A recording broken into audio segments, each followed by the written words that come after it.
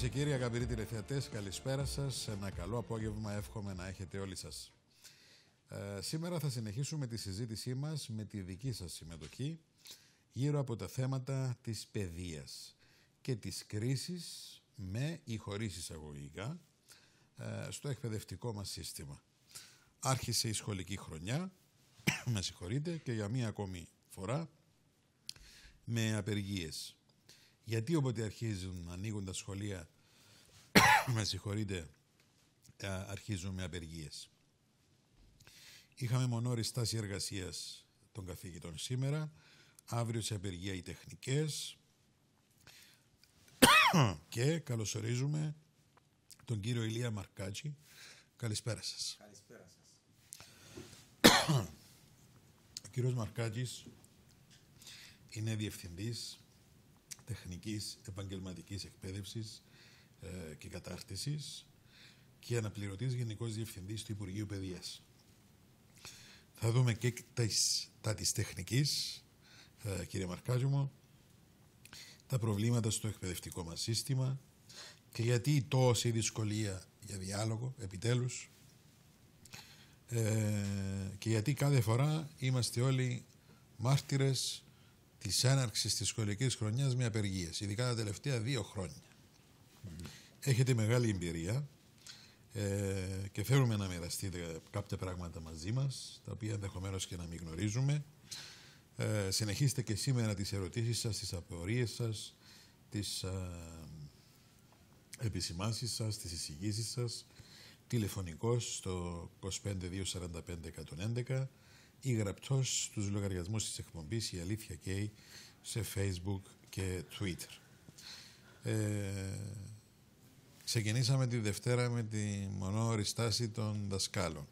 Σήμερα είχαμε τη μονόρη στάση των καθηγητών. Αύριο έχουμε ε, απεργία στις ε, τεχνικές σχολές.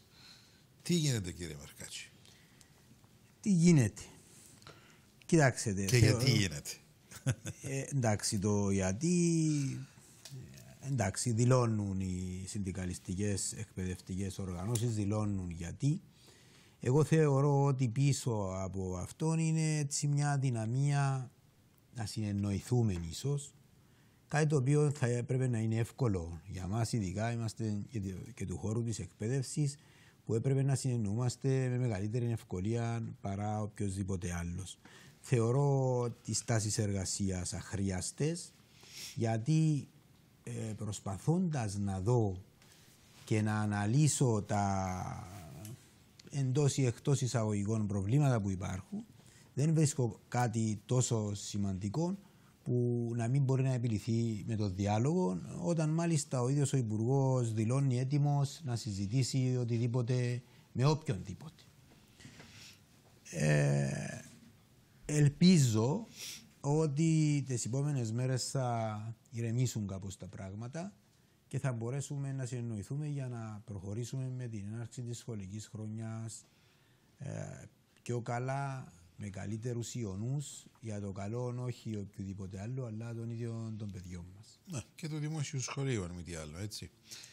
Ε, τώρα, ε, βρισκόταν κάποιος διάλογος τον οποίον κάποιος πρόνοιες του οποίου κάποιοι ε, δεν έχουν ακολουθήσει.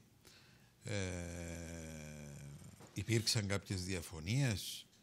Ε, υπήρξε κάποιο ουσιαστικό αδιέξοδο.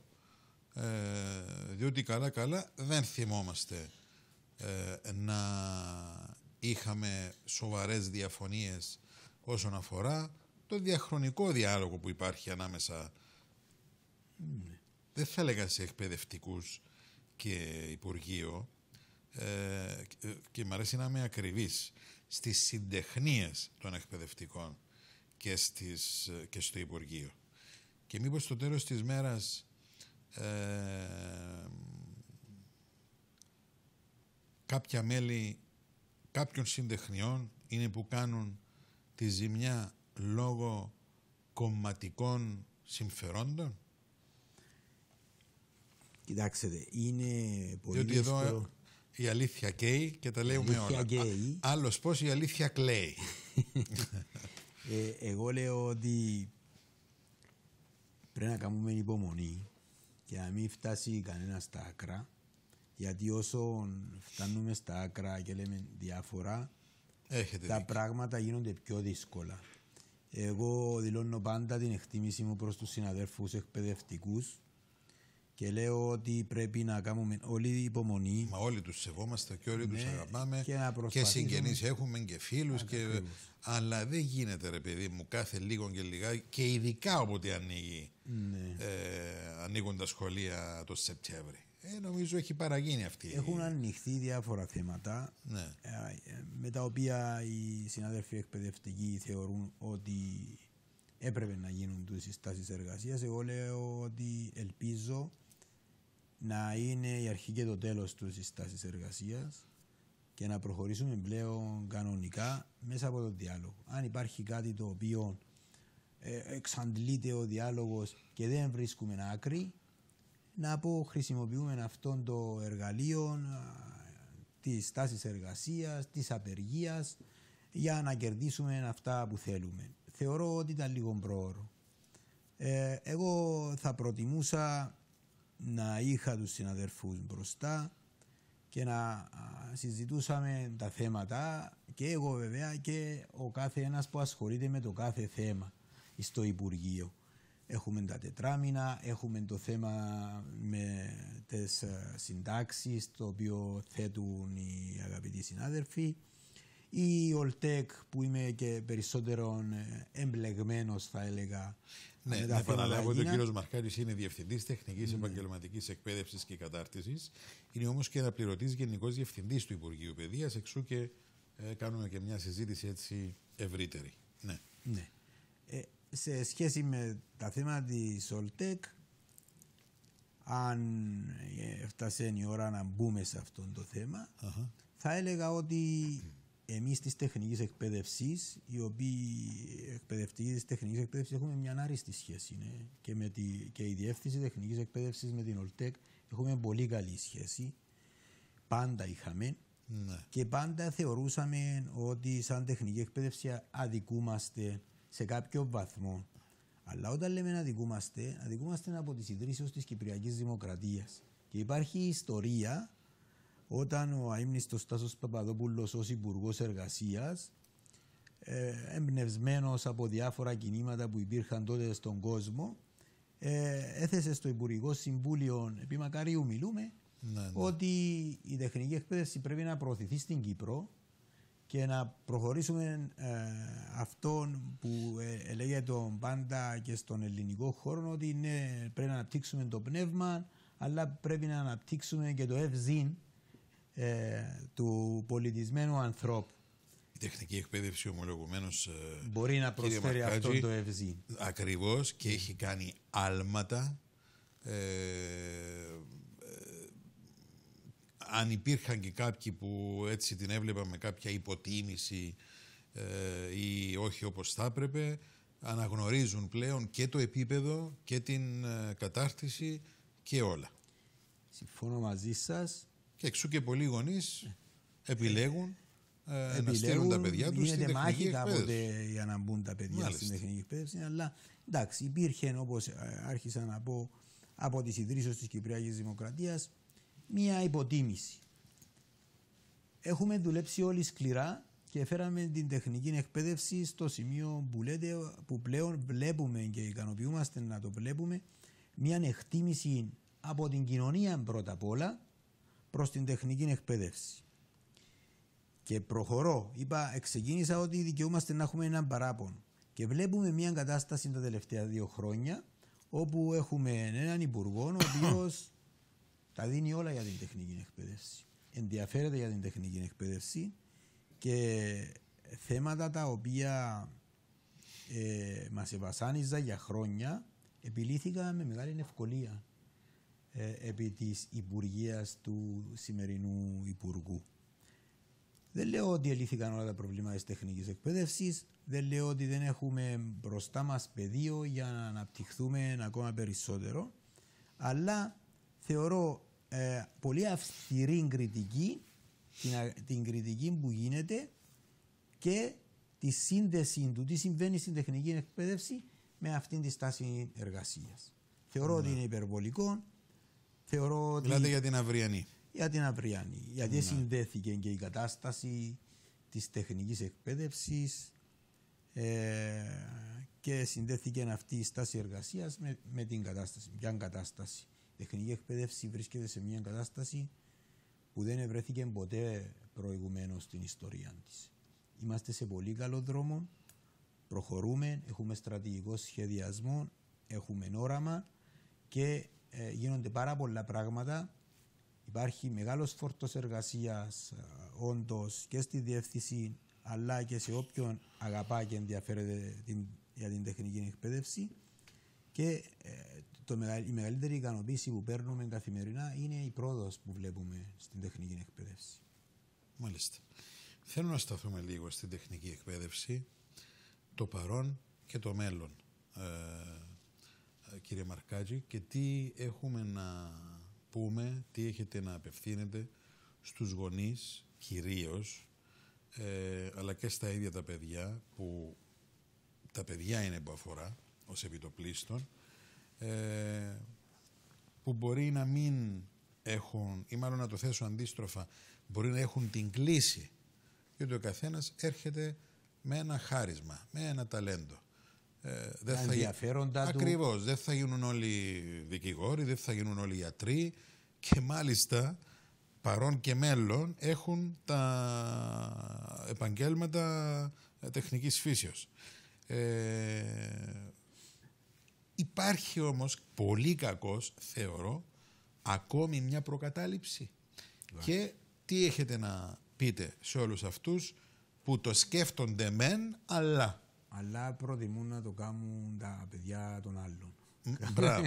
ναι, ναι, ναι. Λοιπόν, εγώ λέω ότι. Και είναι κρίμα αυτό το πράγμα. Υπάρχει... Είναι πολύ κρίμα, διότι έχουν διαπρέψει και έχουν προχωρήσει και έχουν γύρει ε, ε, σπουδαίοι επιστήμονες πάρα πολλά παιδιά από την τεχνική μας εκπαίδευση. Και καλύτεροι επιστήμονες, γιατί έχουν σαν χάρισμα, άμα τελειώσουν την τεχνική εκπαίδευση, τη δημιουργικότητα, την κριτική σκέψη, τη δυνατότητα να ξεφύγουν από την απλή θεωρία και να μπουν πιο εύκολα στην πράξη, δηλαδή είναι πιο πρακτικά άτομα.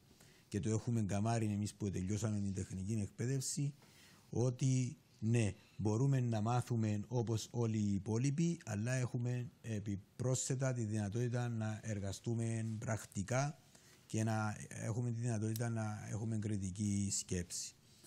Ε, εγώ λέω ότι υπάρχει μια προκατάληψη στην κοινωνία μας σήμερα, είναι ξεκάθαρο, όχι απαραίτητα ενάντια στην τεχνική εκπαίδευση, αλλά ενάντια στα τεχνικά επαγγέλματα. Δυστυχώς, ακόμα είμαστε στην εποχή όπου η εκπαίδευση θεωρείται καταναλωτικών αγαθών κατά ναι. κάποιον τρόπο, όπως έναν ωραίο αυτοκίνητο, όπως έναν ωραίο φόρεμα κλπ. Δηλαδή η εκπαίδευση ήταν για να λέμε Είδατε με τι πράγμα σπούδασα εγώ. Είμαι δικηγόρος. Ναι, ναι. Είμαι ξέρω εγώ τι. Ε, Δυστυχώ μέχρι σήμερα έτσι υπάρχει, υπάρχει. Παλιά υπήρχε και στις άλλες χώρες του κόσμου. Αλλά εκείνες οι εποχές έχουν παρέλθει και η εκπαίδευση είναι πλέον μια επένδυση. Επενδύει ο κάθε άνθρωπος, ο κάθε γονιός επενδύει στην εκπαίδευση του παιδιού του, όχι για να καφιέται για την εκπαίδευση που επήρε, αλλά για να μπορεί να ζει ο άνθρωπος ε, καλά, να έχει μια αξιοπρεπή δουλειά, να μπορεί να έχει μια καλή ζωή. Αυτό, αυτό σημαίνει επένδυση. Επενδύω, ναι. πληρώνω για να έχω κάτι μετά στη ζωή μου.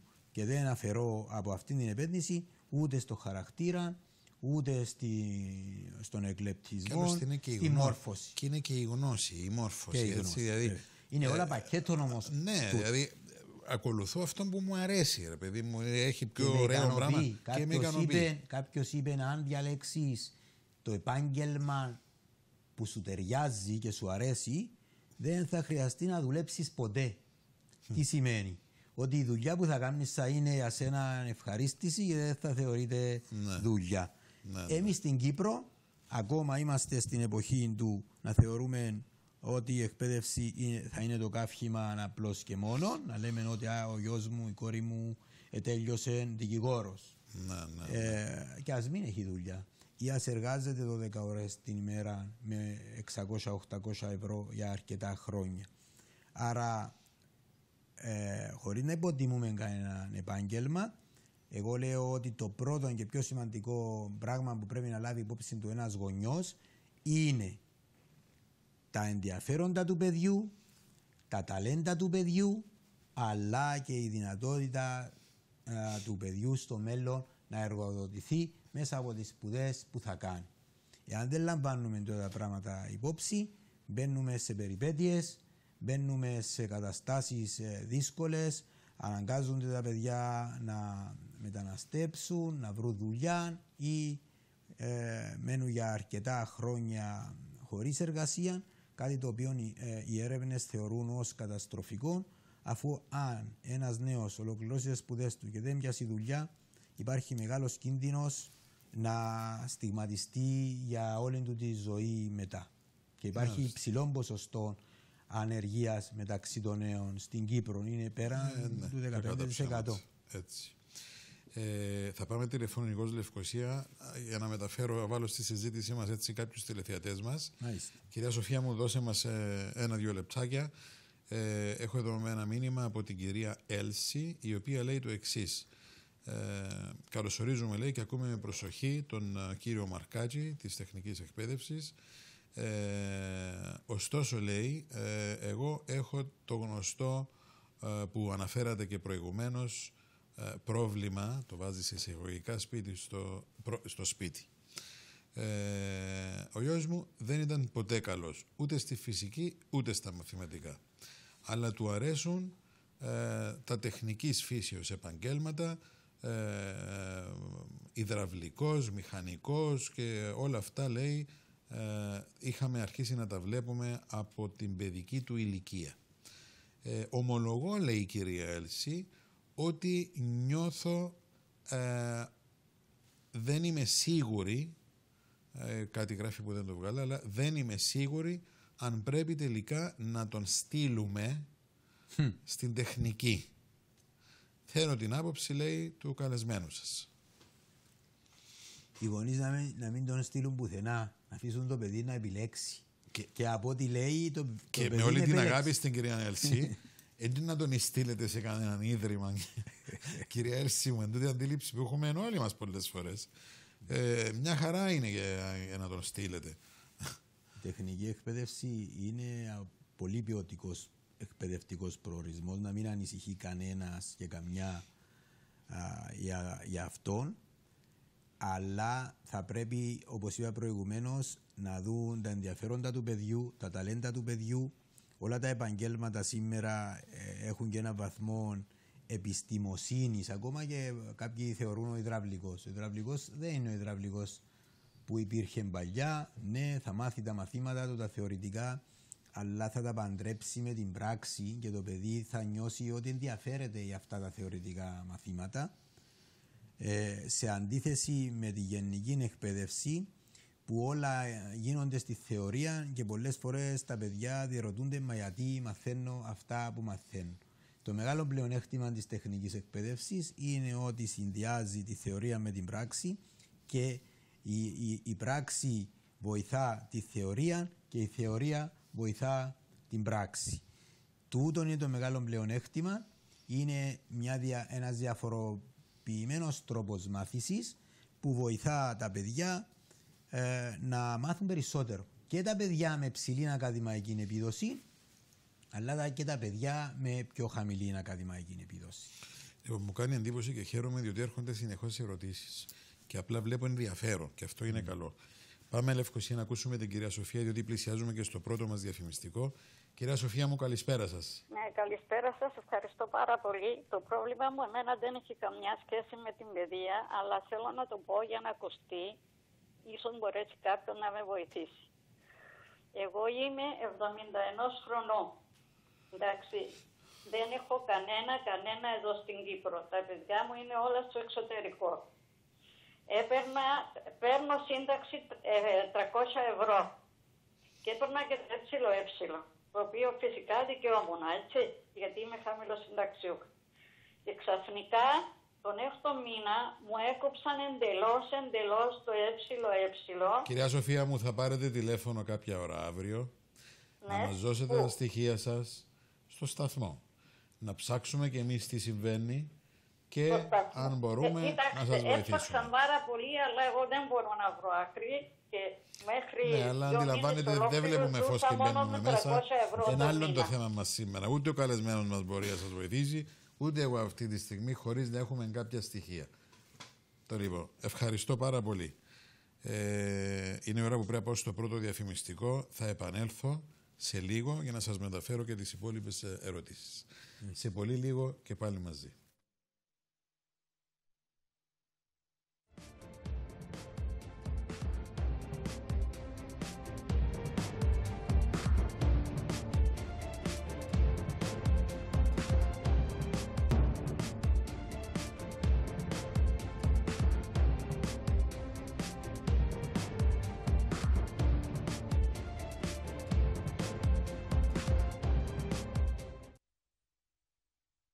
Αλήθεια και οι αγαπητοί τηλεθεατές, ε, έχουμε μιλήσει έτσι λίγο γενικά για τα της παιδείας με το σημερινό μας καλεσμένο, τον κύριο Ηλία Μαρκάτζη, Διευθυντή Τεχνικής Επαγγελματικής Εκπαίδευσης και Κατάρτισης και αναπληρωτή Γενικό Διευθυντή του Υπουργείου Παιδείας.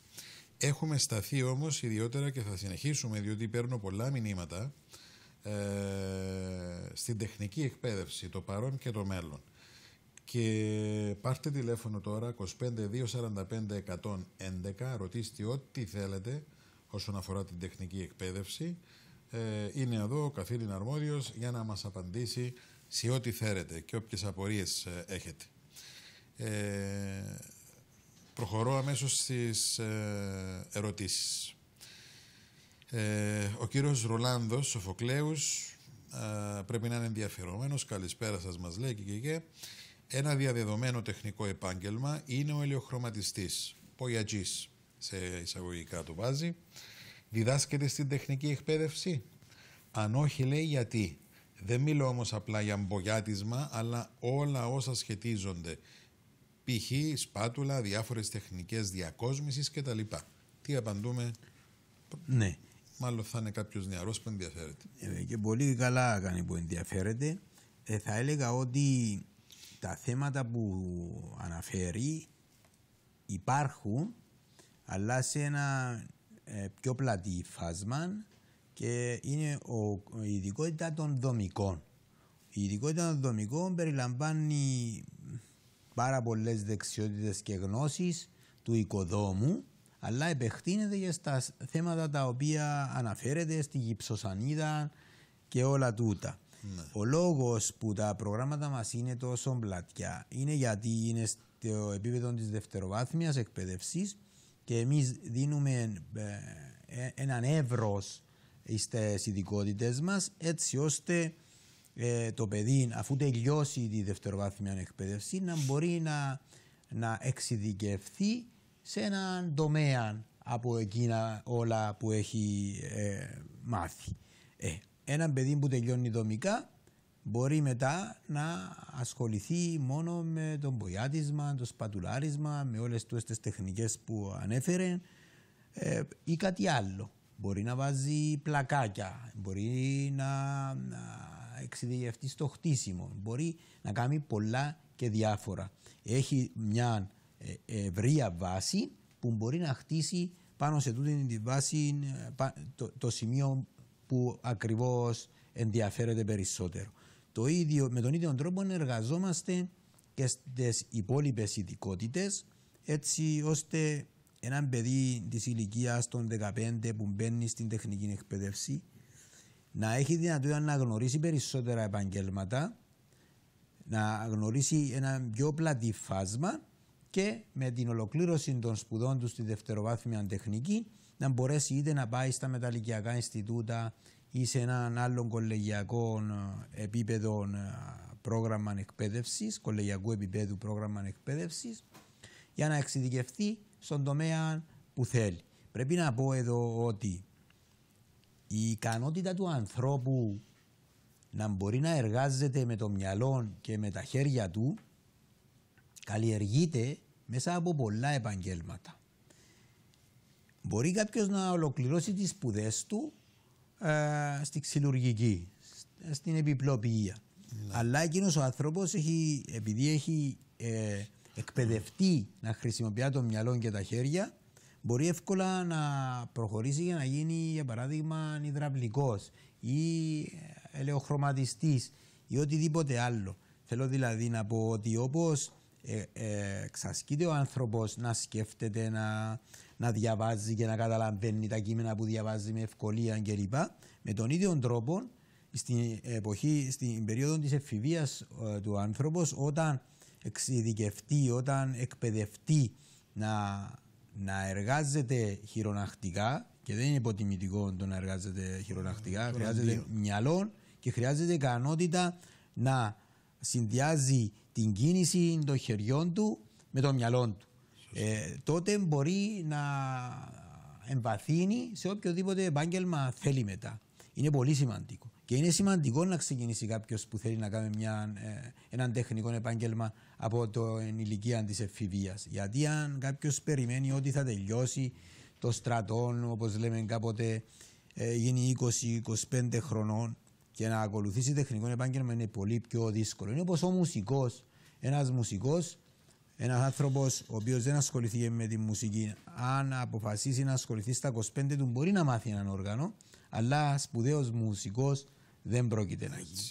Ε, μας παρακολουθεί και συμπληρώνει ο κύριος Ρολάνδος. Δεν είμαι νεαρός, λέει, είμαι 60 ετών. Πάλι νεαρός είσαι κύριε Ρολάνδο. Νεαρός. Αλλά σαν εργοδότης, προσέξτε τι λέει ο άνθρωπος, γνωρίζω ότι υπάρχει μεγάλη έλλειψη στο επάγγελμα και ψάχνουμε ξένους. Είδατε; Πώς φέρνει το έναν το άλλο. Έχω συνέχεια συναντήσεις με ε, επαγγελματικούς συνδέσμους στο γραφείο μου Έχουμε πολύ καλή σχέση με πολλούς εργοδοτικούς συνδέσμους και γνωρίζω τις ελλείψεις που υπάρχουν και δυστυχώς οι ελλείψεις είναι τεράστιες. Ελλείψεις στη ξυλουργική βιομηχανία, ελλείψεις στη, ε, στη, ε, στον κατασκευαστικό τομέα. Δεν βρίσκουμε οικοδόμους, δεν μπορούμε να βρούμε οικοδόμους Κύπριους πλέον. Ε, έχουμε ελλείψεις ελαιοχρωματιστών, έχουμε ελλείψεις υδραυλικών, έχουμε ελλείψεις σε όλα τα τεχνικά επαγγέλματα. Δεν υπάρχει ενδιαφέρον για να πάνε στις τεχνικές σχολές ή δεν υπά... και δεν, δεν δημιουργείται ο κλάδος ή θα πρέπει να δημιουργηθεί ο κλάδος; Υπάρχει, υπάρχει, δημιουργείται ο κλάδος αλλά φαίνεται ότι οι αριθμοί είναι πιο λίγοι από όσους χρειαζόμαστε. Στην Ευρωπαϊκή Ένωση υπάρχει ένας όρος που λέγεται ε, skills mismatch, αναντιστοιχεία δεξιοτήτων. Μάλιστα.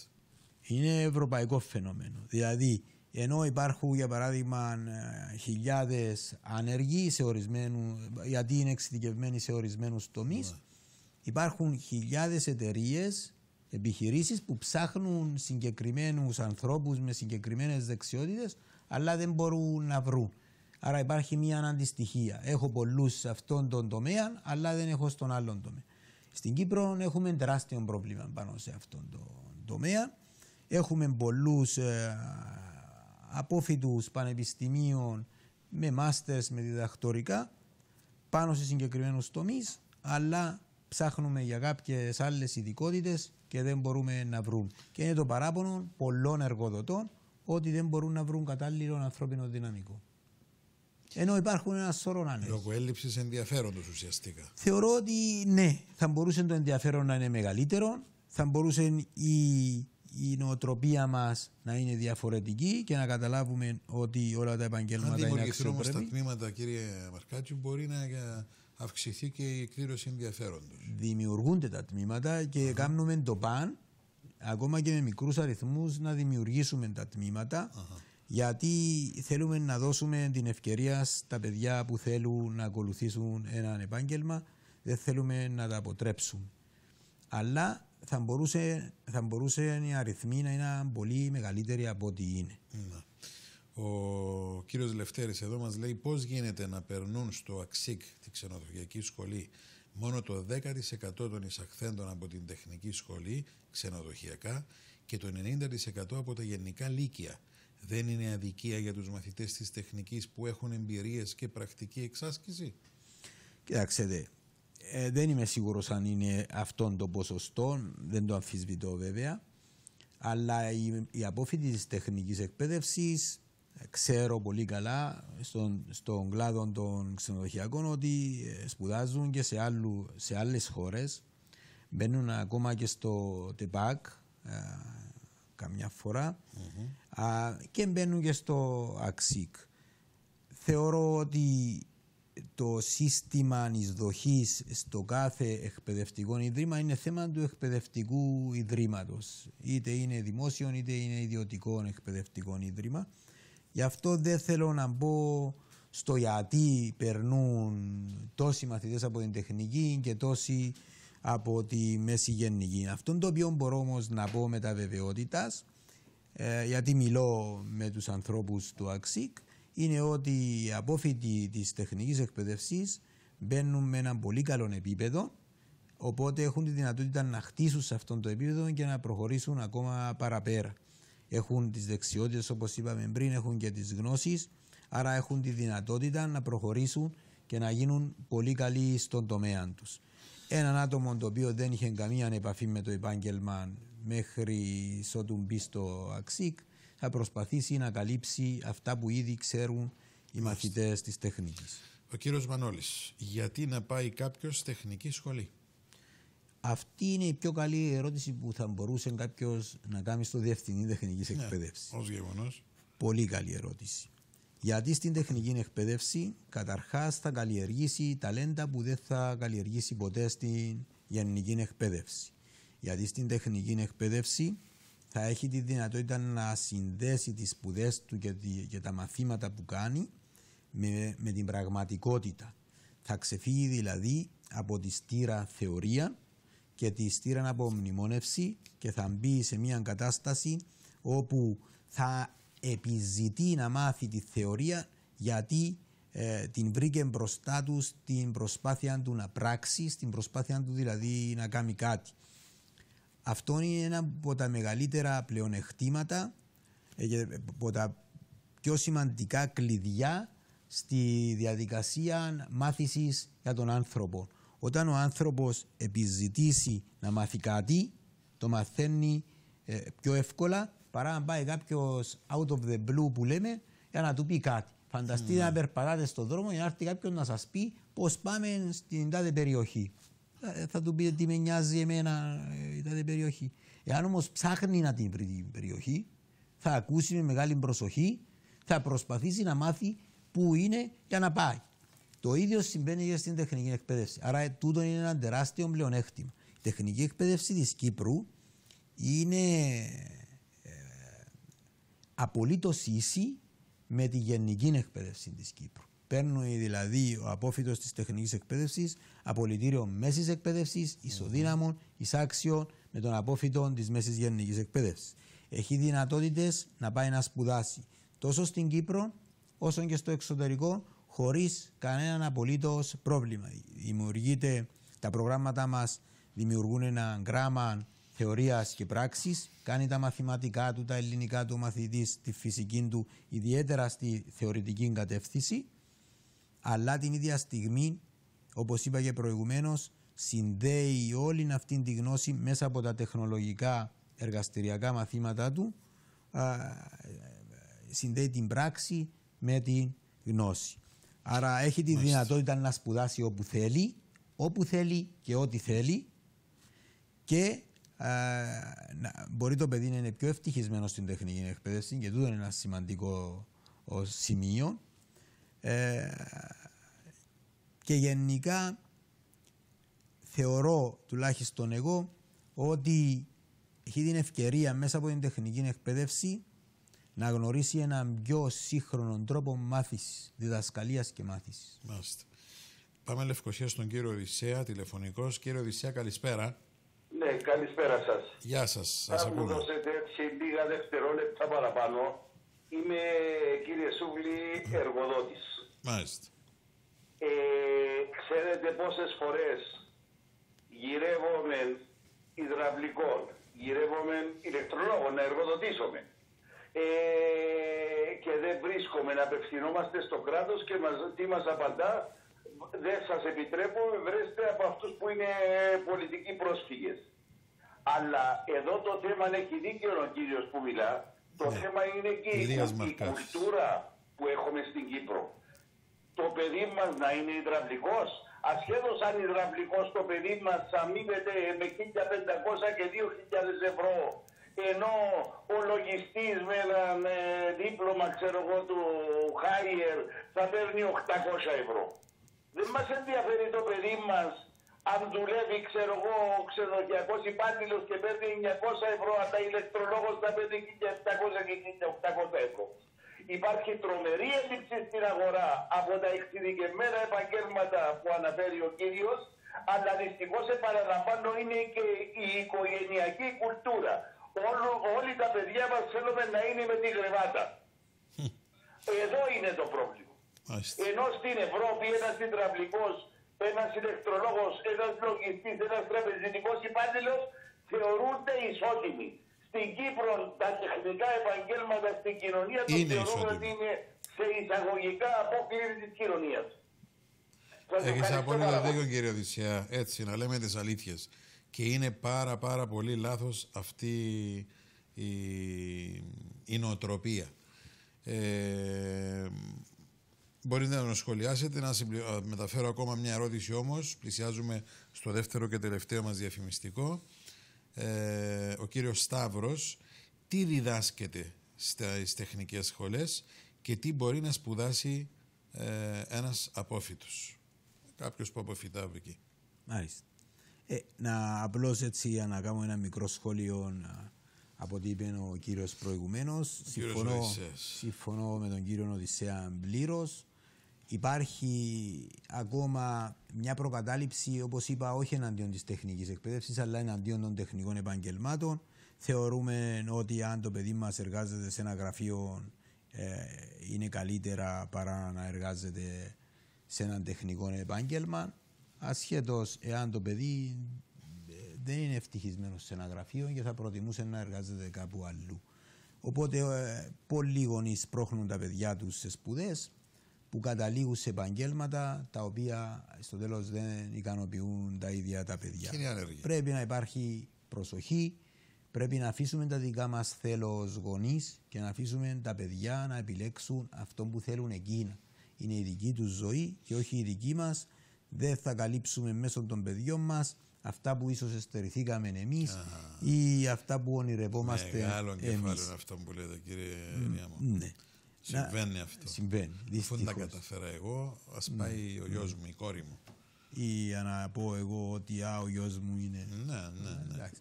Αυτά πρέπει να τα αποφύγουμε. Είμαστε πλέον στον 21ο αιώνα, είμαστε ανθρώποι ε, πολιτισμένοι και πρέπει να σκεφτόμαστε πίσω από την πρώτη σκέψη. Να προχωρούμε λίγο παρακάτω.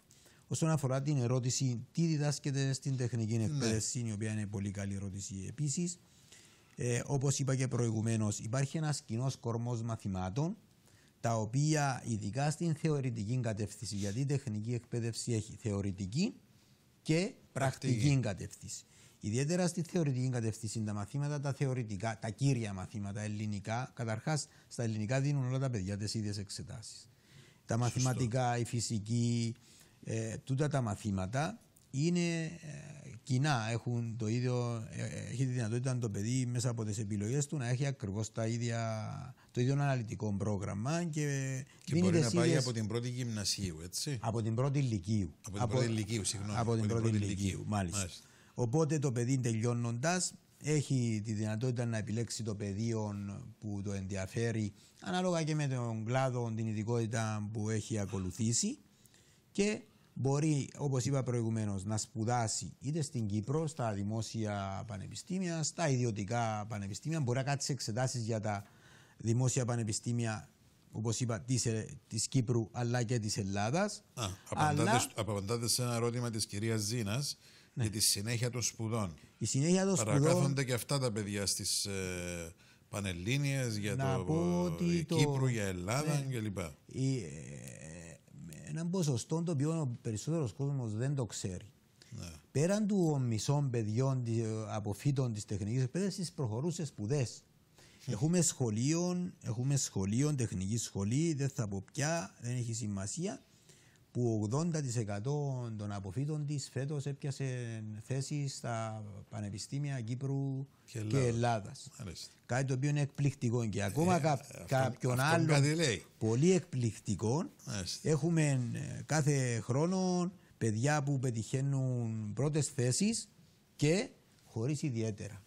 Χωρίς ιδιαίτερα. Τα παιδιά της τεχνικής εκπαίδευσης Α, αυτό είναι σπουδαίο. μπορούν να κύριε πετύχουν και Βαρκάτση. χωρίς ιδιαίτερα. Δεν λέω ότι Σημαίνει κανένα ότι παιδί της γίνεται καλή τεχνικής... δουλειά εκεί. Εγώ θυμάμαι μια περίπτωση που μου λέει ένας αγαπημένος συνάδελφος όπου ένα παιδί, ένα κορίτσι μπήκε ε, στην τεχνική εκπαίδευση με κάποια α, προβλήματα α, και στο τέλος μέσα από την αγάπη που εδέχθηκε στις τεχνη- στην συγκεκριμένη τεχνική σχολή τελικά χτύπησε μια πολύ καλή θέση που έμειναν όλοι εκπληκτοί γιατί το παιδί το συγκεκριμένο δεν επίενε σε ιδιαίτερα, δεν μπορούσε η οικογένεια του να το στέλνει ιδιαίτερα, αλλά πήρε μια τρομερή θέση και προχώρησε με σπουδές και είμαστε περήφανοι και για το συγκεκριμένο παιδί, αλλά και για τα παιδιά, τα, τους αποφύτους μας όλους. Να συνεχίσουμε την απάντησή μας στο σχόλιο μας στην ερώτηση για το τι διδάσκεται. Ε, στις τεχνικές εξήγησα σχολές. ότι διδάσκονται τα θεωρητικά Ναι. και προχωρώ με τα τεχνολογικά όπως τα λέμε και εργαστηριακά μαθήματα. Περίπου οι μισές Αναλόγως- περίοδοι, αναλο- αναλόγως του- αναλόγως με την ειδικότητα που ακολουθεί Μάλιστα. το παιδί, να ξέρουν οι γονείς και τα παιδιά ότι είναι περίπου τα μισά μαθήματα είναι θεωρητικά γενικής εκπαίδευσης και τα άλλα μισά τεχνολογικά εργαστηριακά. Και ε, τα- όταν λέμε εργαστηριακά γίνονται στο εργαστήριο είναι χειρονακτικά, όταν είναι τεχνολογικά είναι θέματα της ειδικότητας, αλλά μπορεί να είναι τεχνολογία, αν είναι- μπορεί να είναι μηχανολογία για παράδειγμα, μπορεί να είναι ηλεκτρολογία, μπορεί να είναι τεχνολογία ξύλου, μπορεί να είναι ε, γραφικές τέχνες, Πείτε μας μπορεί κι άλλα. οτιδήποτε.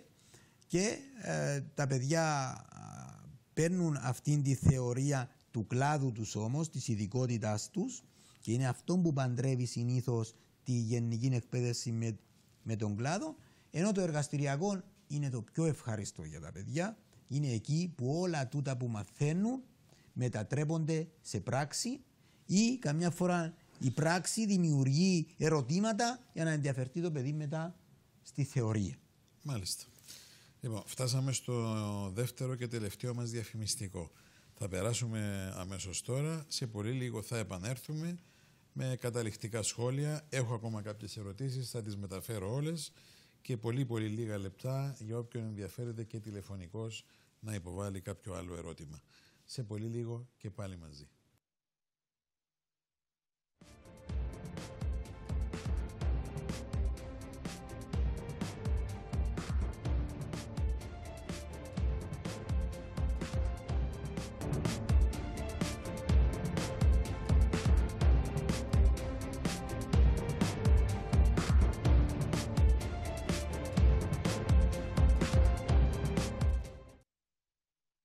Η αλήθεια και οι αγαπητοί τηλεθεατές, Ηλίας Μαρκάτζη, Διευθυντής Τεχνικής Επαγγελματικής Εκπαίδευσης και Κατάρτισης, Αναπληρωτής Γενικός Διευθυντής του Υπουργείου Παιδείας.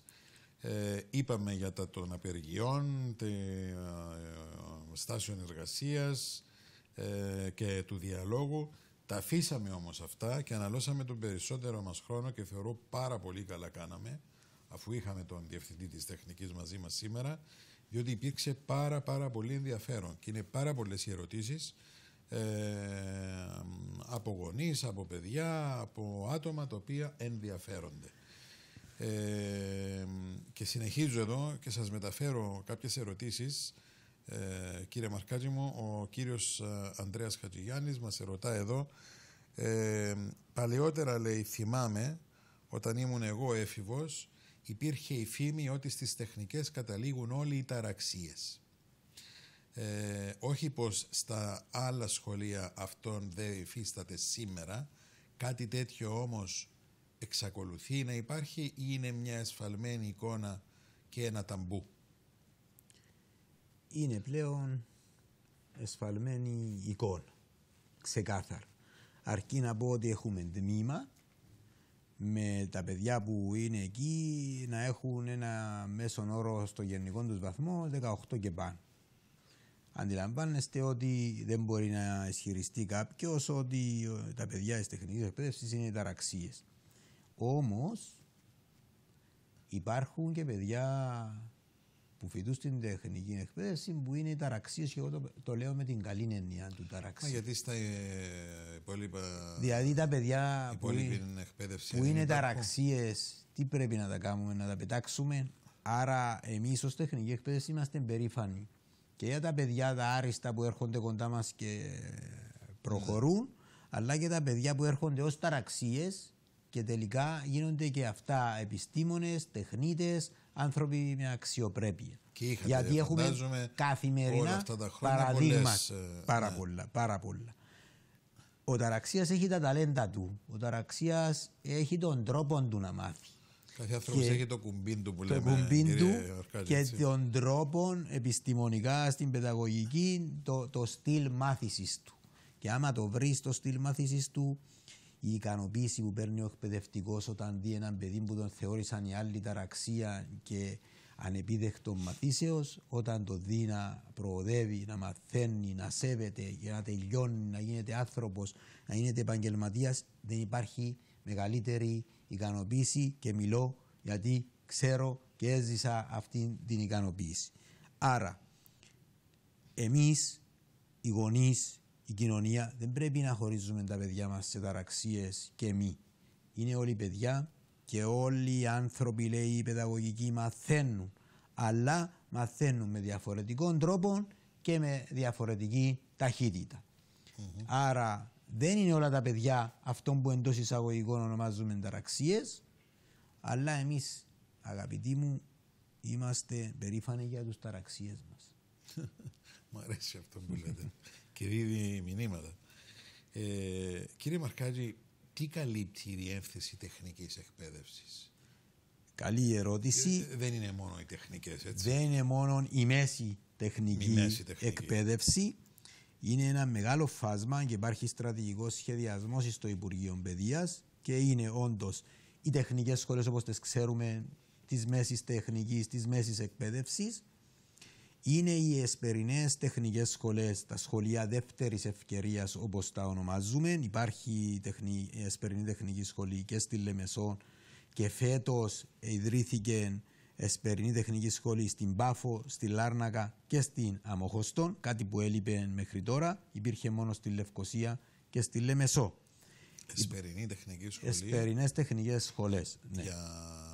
Για, ναι, είναι, κα- είναι σωστό να πούμε για κάποιους που δεν ξέρουν ότι είναι για ενήλικες οι οποίοι ακολουθούν πρόγραμμα εκπαίδευσης όπως ε, το αναλυτικό πρόγραμμα λίγο πολύ του πρωινού και όταν ολοκληρώσουν τις σπουδές τους παίρνουν απολυτήριο μέσης εκπαίδευσης. Είναι κυρίως για άτομα που δεν τέλειωσαν τη μέση εκπαίδευση κατά την εφηβεία τους για πολλούς και διάφορους Α, λόγους. είναι για ενήλικες. Ναι, είναι για ενήλικες. Γι' αυτό είναι σπερινό, Ε, καλό είναι σχολείο, αυτό. ε, την ώρα που τελειώνει κάποιος τη δουλειά του, να μπορεί να το ακολουθήσει και να ολοκληρώσει τη μέση εκπαίδευση. Χωρίς τη μέση εκπαίδευση σήμερα ο άνθρωπος δεν μπορεί να κάνει σχεδόν τίποτε. Είναι σημαντικό κλειδί για τη ζωή του ανθρώπου το απολυτήριο μέσης εκπαίδευσης τουλάχιστον Και αναγνωρισμένο βέβαια. και αυτό, αναγνωρισμένο ακριβώς όπως το απολυτήριο που παίρνει κάποιον παιδί κανονικά τα πρωινά. Το, ο τρίτος άξονας που έχουμε είναι το σύστημα μαθητείας. Παιδιά τα οποία ε, για διάφορους λόγους θέλουν να αποχωρήσουν από το επίσημο σύστημα εκπαίδευσης, μπορούν να μπουν στην, στο σύστημα μαθητείας όπου το πρόγραμμα αυτός, αυτό συνδυάζει εργασία στο χώρο εργασίας, δηλαδή εργοδοτούνται τα παιδιά κατά κάποιον τρόπο και ε, κάποιες μέρες στο σχολείο. Είναι ένας συνδυασμός δηλαδή σχολείου και εργασίας, πραγματικής εργασίας. Με αμοιβή. Τούτο, ναι, με αμοιβή. Ε, τούτον το σύστημα στην Ευρώπη έχει μεγάλη πέραση. Να πω στη Γερμανία, στην Αυστρία, ε, πολλά παιδιά πανηγυρίζουν όταν βρουν θέσεις σε μεγάλες επιχειρήσεις ε, ε, για να εργοδοτηθούν. Θεωρείται κάτι καλύτερο και από το πανεπιστήμιο.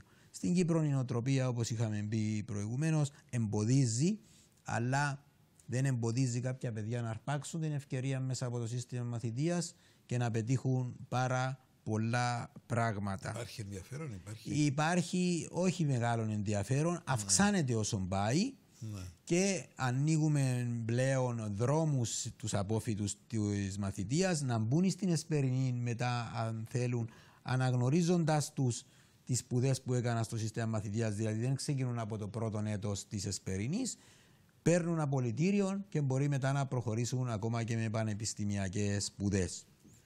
Το τέταρτο πρόγραμμα που έχουμε είναι η διαβίου εκπαίδευση επαγγελματιών, μαγείρων, μηχανικών αυτοκινήτων, υδραυλικών, όλα αυτά τα επαγγέλματα που αναφερθήκαμε προηγουμένως και όχι μόνο. Μπορούμε να κάνουμε προ... τμήματα α, κατά τα απογεύματα και να εξειδικεύσουμε σε κάποια θέματα τους ενήλικες εργαζόμενους ούτως ώστε να αναπτύξουν τις γνώσεις και δεξιότητες τους ή κάποιος αν είναι άνεργος να αποκτήσει κάποιες γνώσεις και να μπορεί να εργοδοτηθεί. Α, καλή ιδέα αυτή. Και αυτό είναι σημαντικό. Το πιο σπουδαίο κατά την άποψη μου όμως που έχουμε είναι τα μεταλλικιακά Ινστιτούτα. Είναι προγράμματα αναγνωρισμένα ανώτερης εκπαίδευσης, κολεγιακού επίπεδου. Για όσους γνωρίζουν είναι στο επίπεδο 5 του Ευρωπαϊκού Πλαισίου Προσόντων. Είναι διετή προγράμματα, δύο ακαδημαϊκά έτη και με την ολοκλήρωση των σπουδών τους οι απόφοιτοι μας παίρνουν α, δίπλωμα α, και το πιο σπουδαίο που παίρνουν είναι σίγουρη εργοδότηση. Δεν υπάρχει απόφοιτος που να θέλει να δουλέψει και να μην εργάζεται. Παίρνουμε τηλεφωνήματα όπως είπε και ο κύριος προηγουμένως ο εργοδότης από εργοδότες που μας ζητούν έχετε κανέναν απόφοιτο να μου στείλετε; Ψάχνουμε και δεν βρίσκουμε. Άρα τα μεταλλικιακά Ινστιτούτα είναι ένα επίτευγμα της κοινωνίας μας. Ξεκίνησαν τη λειτουργία τους το 2012. Ε, μετά προχωρήσαμε και τα επιστοποιήσαμε ε, στο φορέα διασφάλισης της ποιότητας της ανώτερης εκπαίδευσης και ε, έχουμε αυτή τη στιγμή προγράμματα σε όλες τις πόλεις. Αξιοποιούμε τις εγκαταστάσεις των τεχνικών σχολών που είναι αξιοζήλευτες εγκαταστάσεις. Ε, μεγάλη περιουσία της κοινωνίας μας, του κράτους μας, αξιοποιούνται και προσφέρουμε προγράμματα σε όλες τις πόλεις. Ε, και μετατρέπουμε άνεργους νέους συνήθως σε περιζήτητους τεχνικούς που γίνεται μάχη ποιος να τους εργοδοτήσει. Ναι. Ε, πρέπει να κάνουν και λίγο τα σέρκα του όμως. Α, ναι.